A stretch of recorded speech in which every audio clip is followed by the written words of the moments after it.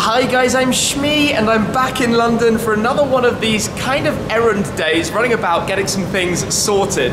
Now, I literally said that I was moving to Germany, sort of, for a reason because I knew I'd be backwards and forwards, so like a yo-yo, going to tons of events in all sorts of different places. And in fact, in the upcoming period, I have so many flights, you wouldn't believe it. It's almost one every second day for the next two months, I think. So I'm gonna be going everywhere for loads of different test drives and cool videos. But today in London, I've got a couple of errands to run. I'm gonna take the GT8 to Posh Wash to get it cleaned up after we had the day out for cars and coffee. It rained later on in the day. Then I'm gonna take the FF out for a drive as well, probably get that cleaned because I haven't actually driven it now for maybe a month, five weeks, that sort of length of time, and it's good to take cars out for a run and give them a good little spurt to see that they're still running and everything is fine. And then I'm going to pop by Senturion as well. Now the Senturion key wristwear that you've seen on my videos before, it's actually been back to be customized. So the key for the McLaren, we'll catch up with that later on, is now a little bit more purple. So I'm looking forward to seeing that and sharing that too. But first today,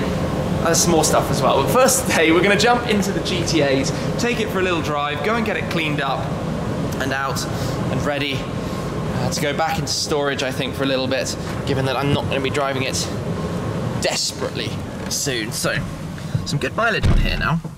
But let's just fire it up. Actually, fire it up. With the door open, always sounds better. I do love those swan doors. They're so cool. So, key in.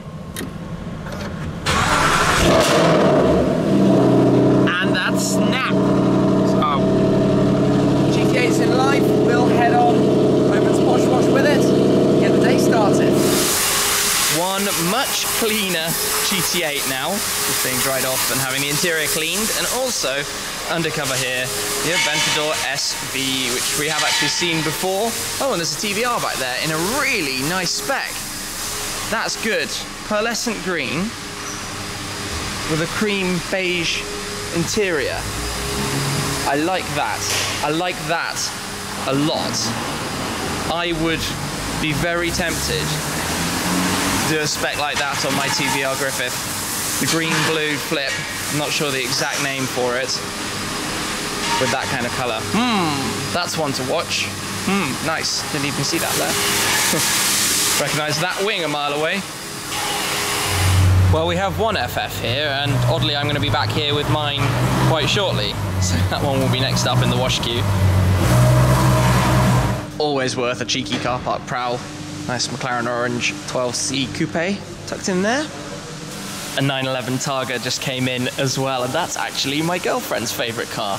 Targa 4 GTS, so maybe one day we have to see one of those in the garage for her to drive. Time will tell. But very distinct with their silver roof section. GT8 done then, let's go get the FF and then come back. The GT8 is tucked into bed then under its cover where it's going to be left to sleep for a while. Just a quick little glimpse under here, nice clean and shiny.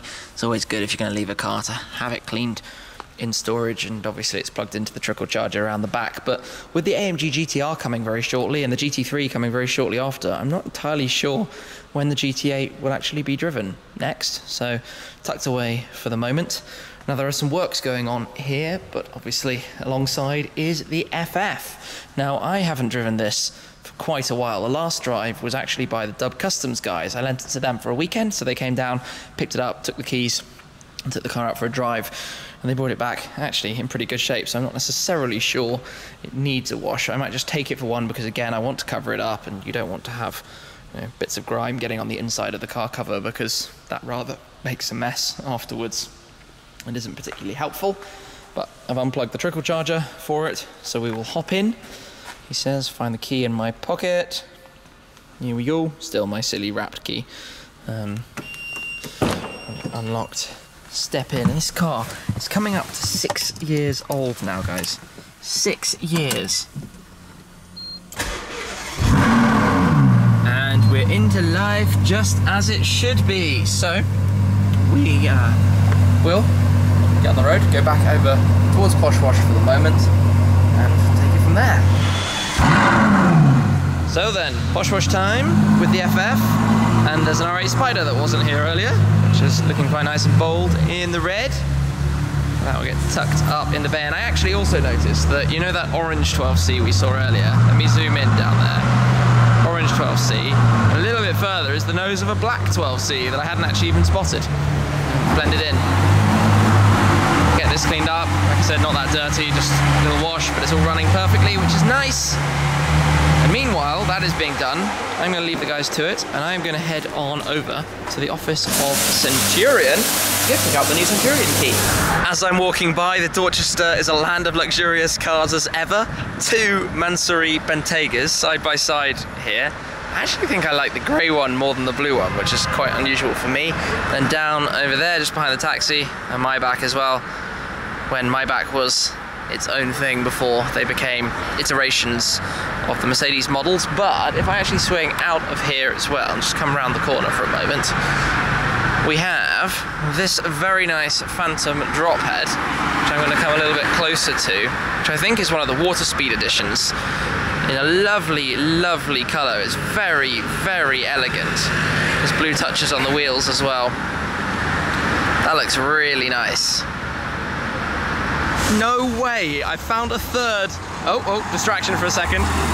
GT3 RS just going by. But I was just about to say a third Mansory Bentayga. Three at once. That's very, very unusual. I mean, Bentaygas are popular, no doubt. And Mansory make a, a popular package, and I mean, let's not forget 911 next to that, although even a new turbocharged Carrera S doesn't stand out too much when you've got something like that right in front of it. With the full carbon fibre over the bonnet, this is all much more beefed up on the standard car. Carbon splitter, Mansory badge around on the side. This one has the normal Bentley wheels. Flying B on the side. Carbon fibre trim all around. And the lip spoiler. And the uh, spoiler at the top of the wing as well. So, a day of Mansory Bentaygas. How crazy. That's quite a nice 488 as well, white with the gold wheels, 488 GTB. I always think they're better when they have these side uh, fins, or I'm not quite sure what you call it in carbon fibre. Gives it a better look. Although, needs to look after the wheels. That's not good, nobody likes to see that. Cool car nonetheless. And then turbo down there, Turbo S, lurking at the end.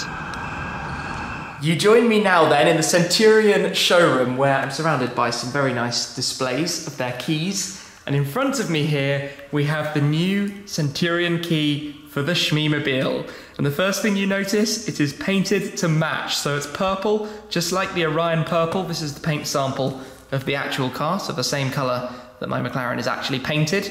And now the key matches it. And the platinum parts are all now polished. So you have the glossy finish, just like the wheels and the highlights around the car. So this is a Senturion key now modified and custom specified to match the exact car, but this is the same one that you've seen before. It's the same special edition uh, key that I demonstrated to you in April of this year in Monaco, because it's the Monaco edition, where I received it from Senturion. And I'll show it to you, obviously, with the car when they're reunited, because the car is currently in Germany. But this is really quite nice and I can show you all the keyless functionality and how that works as a key for the car again very soon. But there we go, the new look Shmeemobile Senturion key. That is awesome.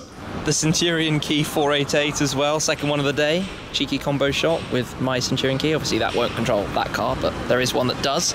And then on the other side of the road, we have another GT3 RS. Again, multiple of those out and about as well and one very nice and clean Ferrari to head back to the storage as well.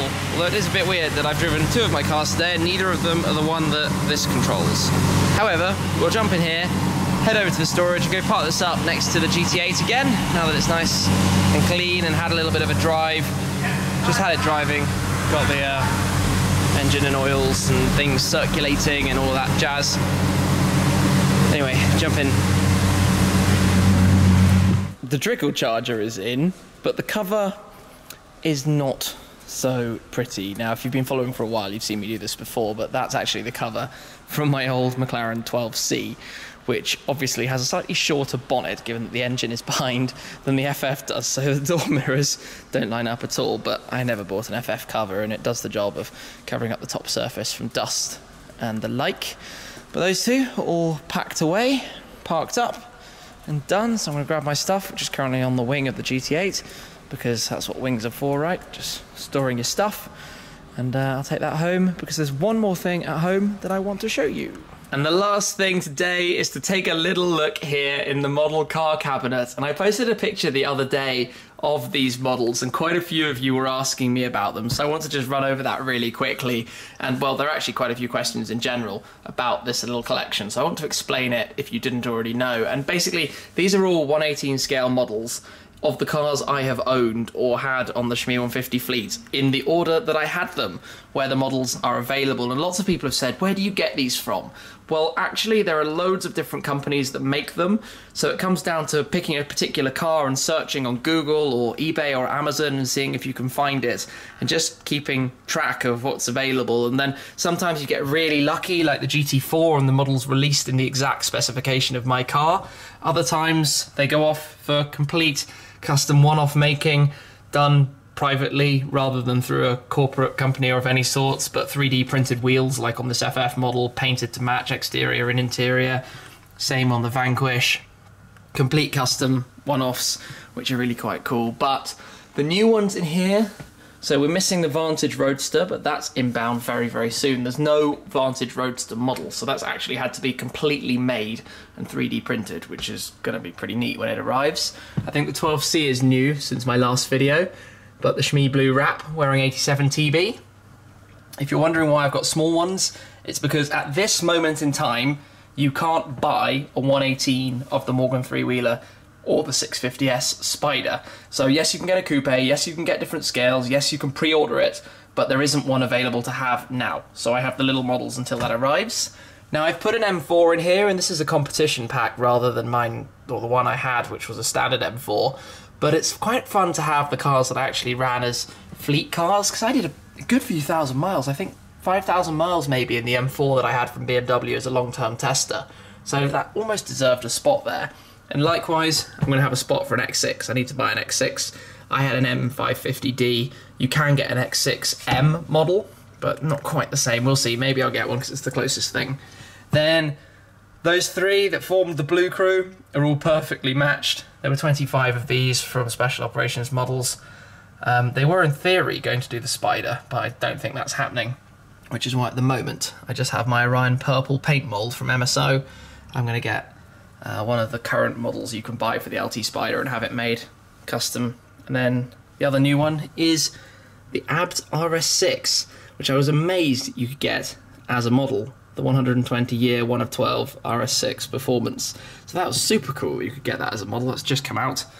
And then a couple of gaps. So the LT Spider I'll get in due course. GT8 haven't got a clue because it doesn't really exist. And then gaps for the future. And then a ton of vinyl wrap paint samples just to think about what colours I might have future cars in. And down there we have a GT. Even though I know it hasn't appeared in the garage yet, I have the model in advance because I'm a nerd and excited about it.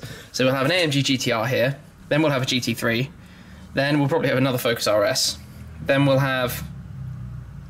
Who knows? Watch this space. Maybe it's the TVR, maybe it's the Ford GT, maybe it's something else. We will see in due course. I'm excited. Please excuse me for waffling on. I know I have a tendency to do that when it comes to the model car collection, but I think it's pretty cool going from my first car, the Renault Clio, all the way through to the latest cars in the collection. But like I said, today was very much an errand day, taking the cars to the Posh Wash to get them cleaned and then put them away in storage. I also had to go to a unit that I have to shuffle around some tyres, stop by Senturion of course to pick up the Senturion key that I'm very much looking forward to testing out when I get back to Germany and seeing what that's like alongside the real car, the car that it controls, which is a kind of strange concept really, isn't it? But I've shown it before and I will show it again for sure. But basically just getting stuff done, you know, London style and it's now pouring with rain actually outside so I'm glad got everything done before that started. But I'm going to wrap this one up for there. Thank you very much as always for watching guys. Make sure you stay tuned, stay subscribed, and I'll catch up with you with plenty more very soon. Cheers!